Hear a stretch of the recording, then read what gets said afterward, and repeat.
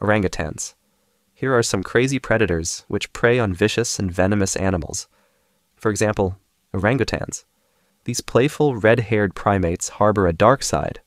While an orangutan's usual diet consists of fruit, leaves, bark, and insects, scientists reported a disturbing new item on the menu in 2012.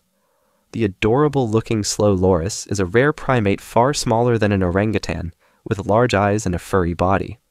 While they look cute to humans, to some Sumatran and Bornean orangutans, they look like a great protein packed snack. There is just one problem slow lorises are poisonous. In fact, they are the only venomous mammals, and their bites are said to be able to rot flesh. Exactly why orangutans would choose to eat these deceptively adorable creatures is up for debate. Some scientists say meat is a fallback food for when the staples of the orangutan diet become scarce. However, a lack of plant foods has not always been the case when orangutans have been observed eating slow lorises. It may be that scientists simply don't have much evidence of it happening because they have not specifically looked for it. As for the poison, the orangutan's superior size seems to make it easy for them to control the small creatures and avoid being bitten. Bee eaters. With their painful sting and tendency to swarm, it can seem like bees should have no natural predators, even without the painful possibility of being stung. They hardly look appetizing. At least, not to humans. Bees actually have numerous natural predators, but they are so central to the diet of one bird species that the birds are even known as bee eaters. There are 22 varieties of bee eater, and they live in all kinds of environments, including rainforests and deserts. They are usually colorful and possess long black beaks with which they skillfully pluck bees out of the air mid flight. Naturally, they do not want to be stung by the bee. To avoid this, they cleverly hit the captured bee's head against a branch to stun it, and then they flip it over and rub its tail up and down the branch until the stinger and venom sac are removed. Now safe to eat, the bee is swallowed whole. It might sound brutal, but bee eaters play an important role in keeping insect populations in balance. Sharks. The tendency of these fearsome fish to chow down on almost any living thing is well known, but one snack is certain to give sharks' terrifying reputations a boost pufferfish. Pufferfish are small, slow swimmers, and therefore vulnerable to predators. Still, they possess one of the best defense mechanisms in nature. By quickly swallowing water and air, they can inflate themselves into a spiky sphere of death several times their normal size. They are covered in sharp spines that stick out when they inflate and are full of tetrodotoxin, one of the deadliest toxins found in nature. A single pufferfish contains enough tetrodotoxin to kill 30 adult humans. Why would anything want to eat something so extremely deadly? Not many predators do, or at least few who do survive.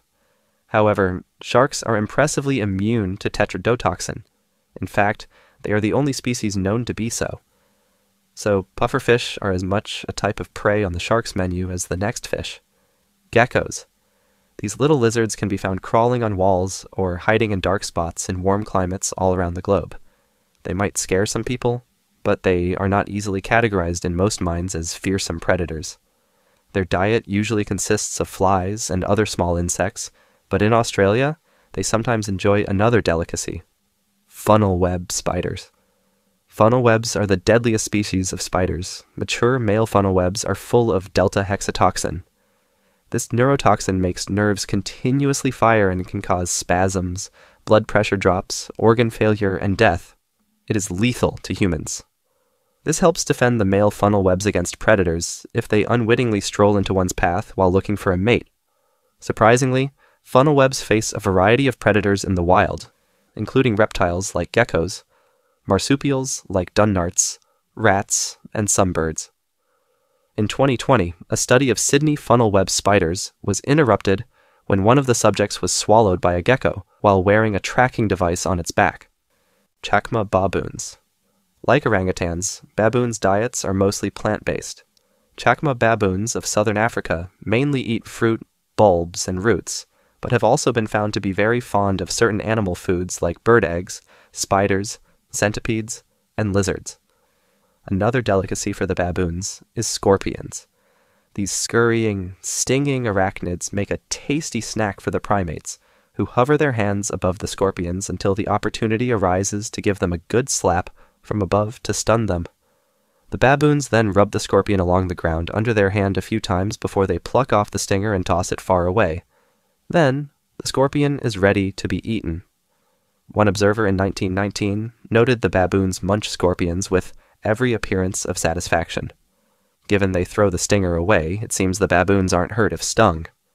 However, the same writer observed that while raiding bees' nests, baboons appear not to experience as much pain from stings as people do, although they try not to be stung. Tiger keelback snakes. Newborn tiger keelback snakes are not venomous. Without the right diet, they will remain so for life. This makes these Japanese snakes quite unusual for the species. However, wild snakes are known to defend themselves from predators by secreting bufadienolides from glands at the back of their neck. These are toxins that affect the heart and airways. Since the snakes are not born with a supply of bufadienolides and cannot produce them themselves, they must acquire them through a practice that is surprisingly common in nature poison theft. Tiger keelback snakes consume poisonous toads, and in the process, they steal the poison for their own use. They even increase its potency. Mothers are able to pass the poison on to their young, who can then hunt toads themselves to continue the cycle. Mongooses. Although highly venomous and despite its name, the king cobra is not at the top of its food chain. Cobras and many other snake species are prey to a small, fierce hunter, the mongoose. Unlike humans, mongooses can tolerate cobra venom thanks to a neurotransmitter called acetylcholine, which neutralizes the effect of toxins by preventing them from binding to the nervous system. This means mongooses can kill and eat cobras and many other snake species. So snakes are a dietary staple for a mongoose. However, the enmity is mutual, and there are snake varieties that eat mongoose too. Mongooses are able to hunt and defend themselves using their vicious claws, fantastic eyesight, speed, and agility. They are so effective they can kill snakes that are bigger than them, and in several places around the world, they are used by humans to control snake and rat populations, leatherback turtles. When it comes to the sheer scale of victims consumed, leatherback turtles may be the most vicious predators on the planet.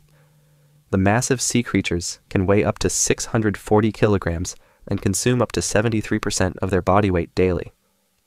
They have a 100% success rate, far better than more well known hunters like lions and sharks, and the food they consume contains only a paltry 5 kilocalories each.